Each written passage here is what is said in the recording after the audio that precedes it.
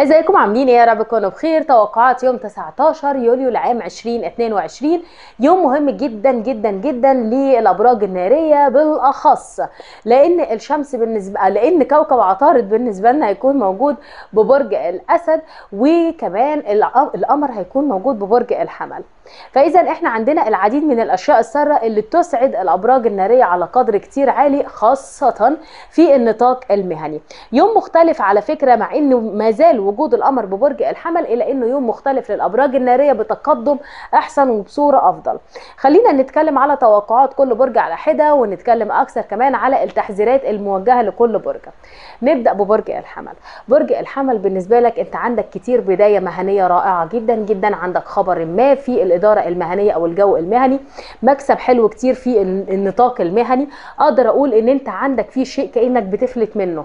يعني عارف كده فكرة إن أنت تبقى ماشي وكنت هتقع فتلاقي نفسك إنك اتنجت اتنجت.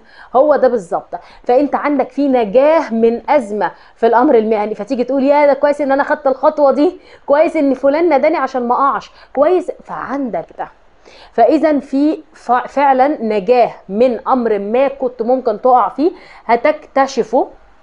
خلال يوم 19 بالنسبة لك يوم 19 هيكون أمر جيد كتير في النطاق المهني. بداية حلوة جدا جدا. اليوم مليء بالتعويض يعني يوم حلو قوي قوي إن أنت تقدر تعوض برضو نفسك إن أنت تتخذ مشاوير إجراءات تعاملات. اليوم حلو كتير إنك تنجز يعني حلو كتير.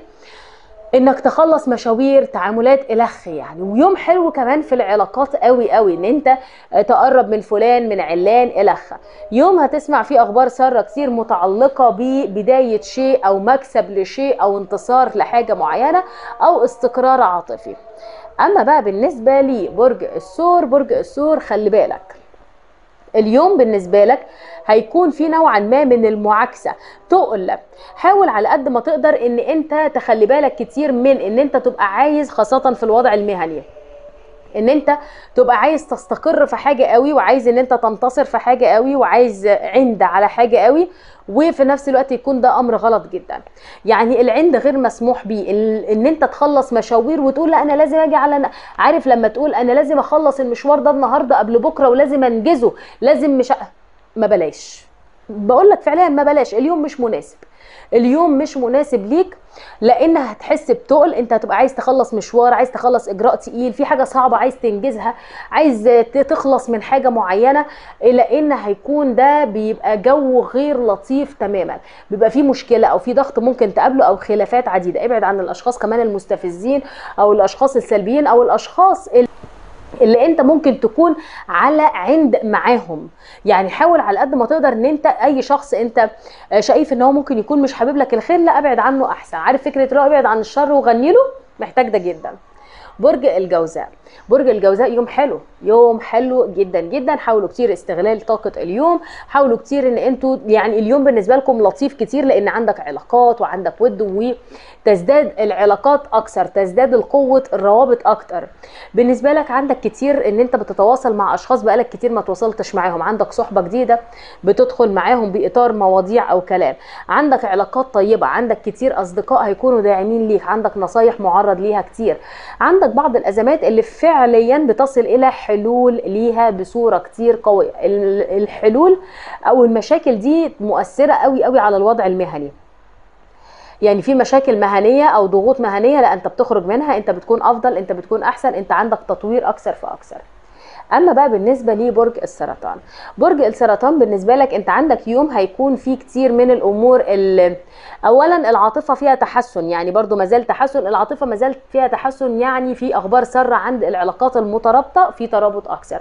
العلاقات اللي فيها تقطيع في بعض فيها إن أنت بتقدر ذاتك أكتر وبتعرف تخرج من ال ال ال الهزيمة.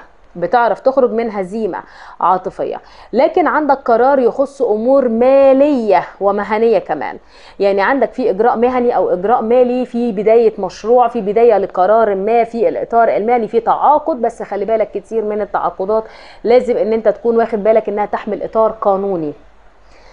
خلي بالك من أي تلاعب في الأمور المهنية يا برج السرطان أو أمور مالية.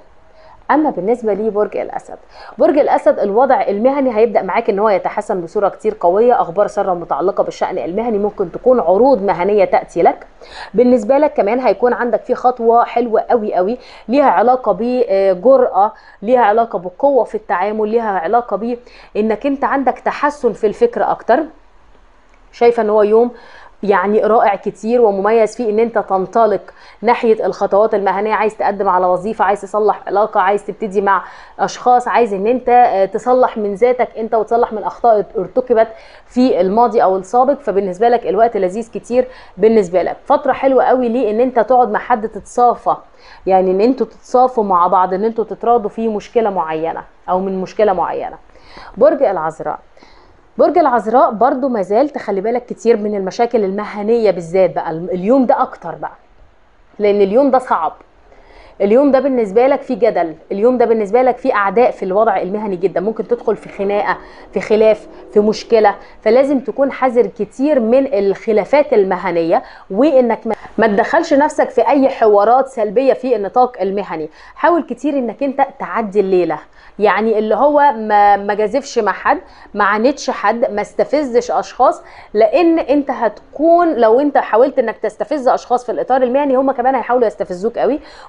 كتير في الأمور المهنية. خلي بالك كتير من الإجراءات الورقية الوقت مش لطيف في الشراكات المهنية الوقت مش لطيف للعقود المهنية والبيع والشراء. خلي بالكم كتير قوي من النقطة دي يا برج العذراء لأن هيبقى فيها تلاعب وفيها حاجة ضارة ليك.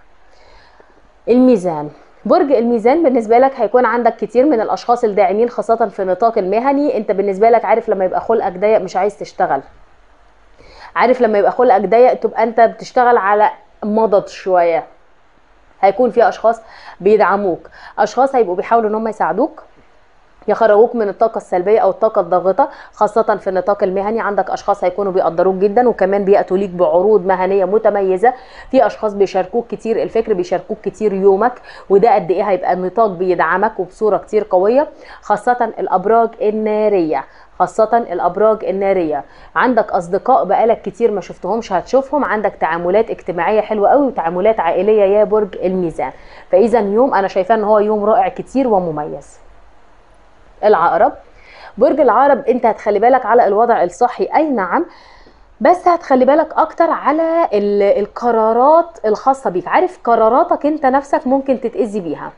يعني اليوم ما بلاش ان انت تقول أنا قررت كذا أنا هنهي الموضوع كذا أنا هبتدي كذا. لا فكرة ان انت تقرر قرار دي أمر بالنسبة لك هيبقى سلبي عليك انت. يعني حاول على قد ما تقدر انك انت تكون حريص على ما تبقاش منفعل ما تبقاش عندك قرارات ما تتسرعش بكلام ما تتسرعش لا قول ولا فعل لأن ده هيأثر كتير على صحتك خاصة لو انت من اصحاب الامراض المزمنة زي الضغط والسكر والخ لأن ممكن يحصل فيه نسب تعلى فتأثر صحيا. النقطة الثانية لو بتعاني من مشكلة صحية ما بلاش تجهد نفسك بأسلوب متزايد وإن أنت تضغط نفسك في مشاوير في إجراءات في صعوبات. خلي بالكم كتير لو الوضع الصحي مش متحمل يبقى ادي نفسك أجازة. مهم جدا ده. ده بالنسبة لي برج العقرب. أما برج القوس برج القوس إيه يعني ما شاء الله بقى برج القوس أنت محظوظ جدا جدا خلال اليوم. ليه بقى؟ لأن أنت القمر بالمنزل الخامس وكمان عطارد موجود دلوقتي بالمنزل التاسع. حظ أفضل كتير في النطاق المهني والمالي. بالنسبة لك إجراءات مالية رائعة يعني في تحسن في الأمور المالية جدا تحسن في الأمور المتعلقة بالبدايات وتصليح العلاقات وأخذ الخطوات الجديدة. عندك وضع جيد جدا جدا. في لمة عيلة لمة شمل ترابط فرحة تخص الأولاد أو المواليد. ده رقم واحد. النقطة الثانية خطوات مهنية قد إيه هتكون رائعة ومتميزة وتسمى أو تسبب صالح ليك أو تسبب إيجابية ليك جدا جدا. النقطة اللي بعد كده إن هيكون عندنا في أمر جيد جدا جدا متعلق ببداية. يعني عندك في بداية أو أخذ خطوة جيدة هتبقى برضو رائعة. يعني ايا كانت البداية دي إيه. الوضع المالي هيبقى فيه تحسن حلو قوي. في كلام أو أمور تخص كلام على وضع مالي هيبقى بالنسبة لك ليه مردود إيجابي أو ليه مردود جيد على شخص القوس جدا. يوم حلو يوم لطيف أنتوا المفروض تستغلوه قوي تمام؟ برج الجدي. برج الجدي خلي بالكم شوية من طاقة اليوم يعني ما بلاش ان أنا أكون خاصة كمان التسرع في البيع الشراء العقود العروض العقود عامة لازم أخلي بالي كويس جدا منها خاصة في النطاق المهني كمان تخلي بالكم كويس قوي لأن ممكن يحصل بعض المشاكسات أو الخلافات لازم تكون حذر نوعا ما. كمان فكرة إن أنت تكون عندك خلاف مع حد فبتحاول إن أنت قال يعني أصلح العلاقة. لا ده مش هيبقى حاجة كويسة بالنسبة لك. حاول لو هتصلح العلاقة يبقى تبتعد عن الانتقادية. يعني أصلح العلاقة اللي هو ما بلاش إن أنا أقعد أجادل. اللي هو أنت قلت وأنا عملت وأنت سويت وأنت غلطت. لا نصلح يعني اعمل إيه النهارده؟ تشرب شاي أعمل لك شاي معايا؟ ولا ده حاجة لذيذة جدا جدا. فدي حاجة تبقى حلوة يعني عارفين أمي الله يرحمها؟ والله بجد والله. كانت لما تيجي مثلا تزعل مع بابا يعني فهم الاثنين إيه متخانقين مثلا زعلانين بيزعلوا على اتفه الأسباب الله يرحمها يعني. ففي الآخر خالص لسه زعلانين مع بعض طول عاملين كده. يقوم بابا يقول لها أنا هعمل شاي أعمل لك معايا؟ فتقول له اعمل لي. يقول لها طب قومي اعملي لنا بقى يلا مع بعض. هو بيتصالحوا بنفس الطريقة يعني. فاللي هو يعني الله يرحمها فعندك ده جدا يا برج الجدي يعني عندك النقطة دي لو, لو عايز تصلح علاقات صلحها بالنطاق ده أو بالطريقة دي جدا. برج الدلو. برج الدلو بالنسبة لك انت عندك يوم هيكون فيه علاقات أكثر في تواصل حلو جدا جدا في كتير من الود والتقارب ما بينك وما بين الآخرين في تعاملات عائلية جيدة في بالنسبة لك أشياء سر هتكون موجودة ليها علاقة بان انت تصل إلى حلول. يعني عندك أزمة معينة أو مشكلة لأ بتعرف إن انت تصل إلى حل فيها.